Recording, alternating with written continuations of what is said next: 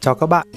Nhân dịp được 20.000 subscribers và lên uh, YouTube Partnership thì như đã thông báo trên Facebook, hôm nay bọn mình uh, quyết định làm một video câu hỏi và trả lời để giải đáp một số thắc mắc mà bọn mình liên tục nhận được từ đầu đến giờ.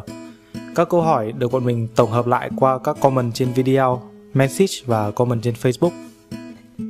Đầu tiên thì mình sẽ trả lời uh, điều mà có lẽ rất là nhiều người đang thắc mắc là tại sao lại là bọn mình chứ không phải là mình. Lý do cho việc này thì là vì Do The được thực hiện bởi hai người.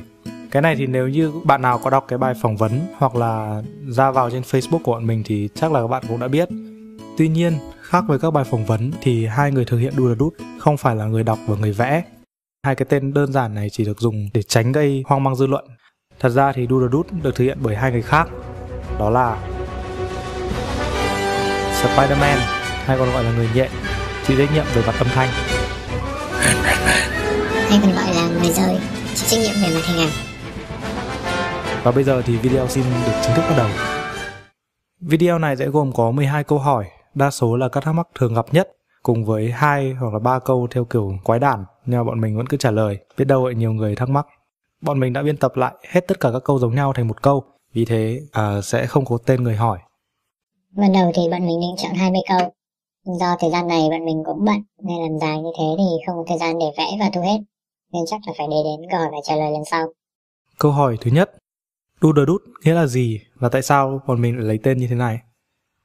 Do thì là phiên âm của từ Do ừ, tạm dịch là chàng trai vẽ loằng ngoằng. Ý tưởng của bọn mình là chọn ra một cái tên thật là đơn giản, dễ nhớ và phù hợp với hình thức thể hiện của video là doodle. Ban đầu thì bọn mình rất là muốn đặt tên theo kiểu tiếng Anh là Do the nhưng do không thể đăng ký được, nên là sau khi thử một số biến thể khác nhau và mình quyết định chọn là phiên âm tiếng Việt theo kiểu dân dã. Trên Facebook của bọn mình thì vẫn để tên là Do Câu hỏi số 2 Vì sao lại làm Do Ý tưởng Do là từ đâu ra? Ý định làm video thì chắc là từ hồi du học sinh Mỹ là video đầu tiên. Tuy nhiên đợt đấy thì vì nhiều lý do khách quan, với cả cũng thấy nhiều người đã trả có nên mình cũng lại. Mãi cho đến đầu năm nay thì à, vì nghỉ đông không việc gì làm nên mình mới à, quyết định vào tay thực hiện. Lúc đấy thì định làm một mình nhưng do bí khâu nhạc và thu tiếng và lại nhớ ra người nhện cũng từng có ý định làm một channel cover nhạc nên mình quyết định rủ dây và may mắn được đồng ý. Bọn mình thích trình bày ý tưởng theo kiểu trực quan nên khi có ý tưởng làm video đã quyết định kết hợp giữa cả lời nói và hình vẽ để truyền tải nội dung. Mục đích của bọn mình là tạo sự khác biệt với các vlogger khác để đỡ bị so sánh. Do một người có sở thích về âm nhạc, còn một người thì lại có sở thích về phim ảnh nên việc kết hợp làm video khá là ăn ý. Ý tưởng cho phong cách của Doodle thì dựa trên các channel và các webcomic có cùng phong cách mà mình theo dõi. Cái này thì mình sẽ trả lời cụ thể hơn ở lần khác. Câu hỏi thứ ba, ai làm việc gì trong Doodle Trong hai người thì mình sẽ phụ trách phần âm thanh, bao gồm thu tiếng và chơi nhạc. Người rơi thì phụ trách về mặt hình ảnh, bao gồm vẽ và dựng video. Lên ý tưởng thì bọn mình cùng làm, sau đấy thì người rơi sẽ viết kịch bản. Ngoài ra thì mình còn kiêm việc trả lời comment và message, nên đa số các comment và post trên YouTube và Facebook là của mình. Chỉ khi nào thấy có gì liên quan hoặc có ca nào quá khó hay cần nói chuyện tử tế thì người rơi mới bay vào. Còn cụ thể quá trình như thế nào thì để lần khác bọn mình trả lời. Câu hỏi số 4. Có phải bạn là du học sinh Mỹ không? Có phải bạn là Huy Mi không? Có phải bạn là toàn Shinra không? Sao nghe giống toàn Shinra thế? Chắc chắn là toàn Shinra rồi, nhầm thì đéo được. Có phải bạn là Lizzie không? Câu hỏi số 5. Tại sao các bạn lại không lộ mặt? Bọn mình nghĩ rằng việc lộ mặt hay không cũng không quan trọng vì video của mình không về riêng một cá nhân nào cả mà đang cố gắng đại diện cho một số đông. Ngoài ra thì vì là siêu anh hùng nên ờ, chúng mình cũng lo lắng cho sự an toàn của các bạn nếu như các bạn biết được danh tính của bọn mình. Nói chung là bọn mình muốn các bạn quan tâm đến nội dung của video hơn là việc bọn mình trông như thế nào. Với cả có một tí bí ẩn thì cũng vui hơn. Câu hỏi số 6. Các bạn đang học, làm về cái gì? Bọn mình ờ, một đứa học kinh tế và một đứa học marketing. Nói chung là cũng không liên quan gì đến việc bọn mình làm đu đút cả. Việc chơi nhạc và vẽ vời thì thật ra chỉ là sở thích của bọn mình, chứ mình cũng không học cái gì ở đâu cả. Câu hỏi số 7. Bạn dùng giấy và bút gì để vẽ? Sao chất lượng video xấu thế? Mình vẽ bằng bảng trắng và bút viết bảng, nên không tốn giấy mà chỉ tốn tiền. Còn cái màu vàng vàng của video là do đèn và do mình chỉnh màu khi dựng. Còn về chất lượng của video thì là vì máy quay mình đang dùng là một máy quay chạy mini DV khá là cổ, cho nên không thể xuất ra HD được. Mình hy vọng là sẽ để dành được tiền để mua máy khác. Tuy nhiên là từ giờ đến lúc đấy thì mình không thể làm gì khác được. Mong các bạn thông cảm. Câu hỏi số 8 Các anh lồng tiếng trong đu đút có đẹp trai không? Có người yêu chưa? Các anh còn lại thì làm sao? Mình thấy chính là mình cũng đẹp trai ra phết, không biết đổ tại ai. Còn về chuyện kia thì mình đã có Mary Jane hay còn gọi là cô gái lên gối ở trong vít 14 tháng 3. Người chơi thì như các bạn đã biết là không có Mary Jane hay là em nào cả. Còn đẹp trai thì chắc là hơn người nhẹ. Câu hỏi số 9 Anh có bị gay không?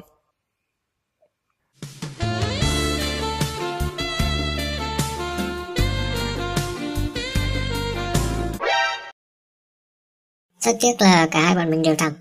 Câu hỏi số 10 Giày của bạn size bao nhiêu thế?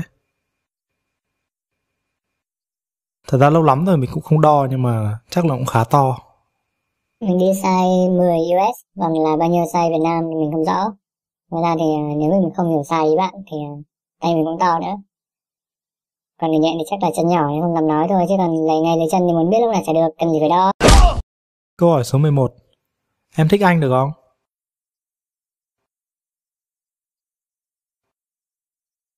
Uhm, không được em em ạ. Như thế là đã xong phần trả lời câu hỏi lần này. Những câu hỏi khác thì bọn mình xin được để đến video câu hỏi và trả lời lần sau. Chắc là tầm vài ba tháng nữa khi bọn mình có nhiều thời gian hơn. Trong thời gian tới thì chắc bọn mình vẫn tiếp tục duy trì làm video với những nội dung đơn giản. Bọn mình sẽ thử nghiệm các đề tài to tát hơn nhưng uh, chuyện này cũng còn phụ thuộc vào việc các bạn có muốn hay không nữa. Ngoài ra thì bọn mình hy vọng là sẽ có dịp được cộng tác với các vlogger khác. Còn cụ thể thế nào thì chắc là phải theo dõi bọn mình qua Facebook của Do thì mới biết được. Cảm ơn các bạn đã kiên nhẫn ngồi xem hết video này. Video mới sẽ có trong vòng 2 tuần. Trước khi kết thúc thì mình xin đọc câu hỏi số 12. Câu này thì thật ra là dành cho các bạn. Do video được up vào ngày 1 tháng 4, cho nên trong video này có một câu mà bọn mình nói không đúng sự thật. Đố các bạn biết đấy là câu nào? Gợi ý nhé. Bọn mình không còn nói dối ở câu số 9 đâu.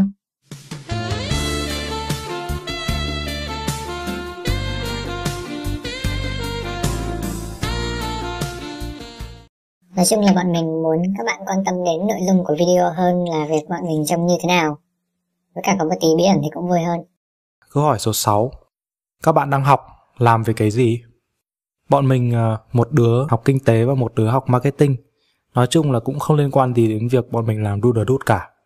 Việc chơi nhạc và vẽ vời thì thật ra chỉ là sở thích của bọn mình chứ mình cũng không học được gì ở đâu cả. Câu hỏi số 7. Bạn dùng giấy và bút gì để vẽ? Sao chất lượng video xấu thế? Mình vẽ bằng bảng trắng và bút viết bảng nên không tốn giấy mà chỉ tốn tiền. Còn cái màu vàng vàng của video là do đèn và do mình chỉnh màu gây dựng.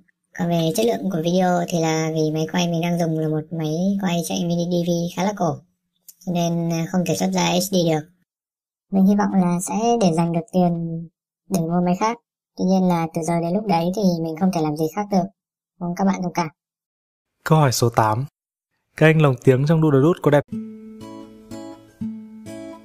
Chào các bạn. Nhân dịp được 20.000 subscribers và lên uh, YouTube Partnership thì như đã thông báo trên Facebook, hôm nay bọn mình à, quyết định làm một video câu hỏi và trả lời để giải đáp một số thắc mắc mà bọn mình liên tục nhận được từ đầu đến giờ. Các câu hỏi được bọn mình tổng hợp lại qua các comment trên video, message và comment trên Facebook. Đầu tiên thì mình sẽ trả lời à, điều mà có lẽ rất là nhiều người đang thắc mắc là tại sao lại là bọn mình chứ không phải là mình. Lý do cho việc này thì là vì Do The được thực hiện bởi hai người. Cái này thì nếu như bạn nào có đọc cái bài phỏng vấn hoặc là ra vào trên Facebook của bọn mình thì chắc là các bạn cũng đã biết. Tuy nhiên, khác với các bài phỏng vấn thì hai người thực hiện đu đút không phải là người đọc và người vẽ.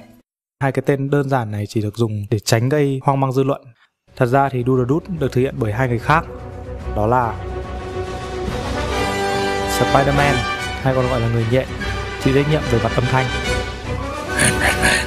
Hay còn gọi là người rơi, chịu trách nhiệm về mặt hình số 2. Vì sao lại làm đưa The đút? Ý tưởng đưa The đút là từ đâu ra? Ý định làm video thì chắc là từ hồi du học sinh Mỹ là vlog đầu tiên. Tuy nhiên đợt đấy thì vì nhiều lý do khách quan, với cả cũng thấy nhiều người đã trả có nên mình cũng ngại.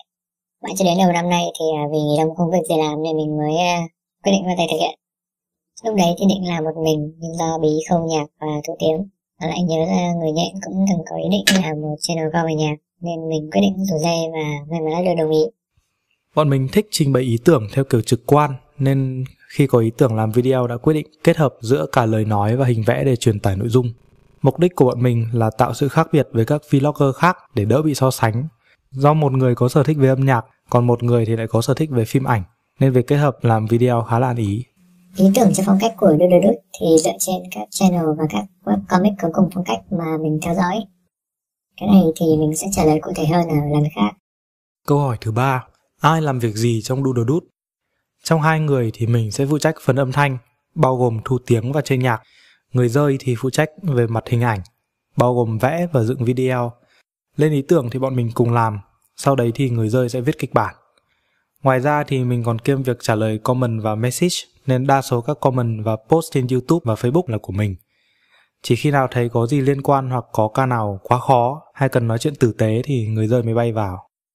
Còn cụ thể quá trình như thế nào thì để lần khác bọn mình trả lời.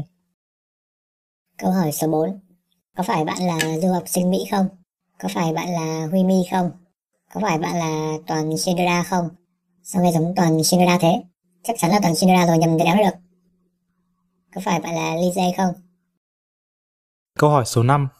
Tại sao các bạn lại không lộ mặt? Bọn mình nghĩ rằng việc lộ mặt hay không cũng không quan trọng vì video của mình không về riêng một cá nhân nào cả mà đang cố gắng đại diện cho một số đông. Ngoài ra thì vì là siêu anh hùng nên ờ, chúng mình cũng lo lắng cho sự an toàn của các bạn nếu như các bạn biết được danh tính của bọn mình. Và bây giờ thì video xin được chính thức bắt đầu. Video này sẽ gồm có 12 câu hỏi, đa số là các thắc mắc thường gặp nhất cùng với hai hoặc là ba câu theo kiểu quái đản nhưng mà bọn mình vẫn cứ trả lời biết đâu lại nhiều người thắc mắc bọn mình đã biên tập lại hết tất cả các câu giống nhau thành một câu. Vì thế à, sẽ không có tên người hỏi. Ban đầu thì bọn mình định chọn 20 câu. Do thời gian này bọn mình cũng bận nên làm dài như thế thì không có thời gian để vẽ và thu hết. Nên chắc là phải để đến câu hỏi và trả lời lần sau. Câu hỏi thứ nhất.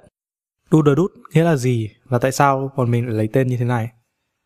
Doodle Doot thì là phiên âm của từ Doodle Doot, ừ, tạm dịch là chàng trai vẽ loằng ngoằng. Ý tưởng của bọn mình là chọn ra một cái tên thật là đơn giản, dễ nhớ và phù hợp với hình thức thể hiện của video là Doodle. Ban đầu thì bọn mình rất là muốn đặt tên theo kiểu tiếng Anh là Doodle Doot, nhưng do không thể đăng ký được nên là sau khi thử một số biến thể khác nhau, bọn mình quyết định chọn là phiên âm tiếng Việt theo kiểu dân dã. Trên Facebook của bọn mình thì vẫn để tên là Doodle Doot. Câu hỏi số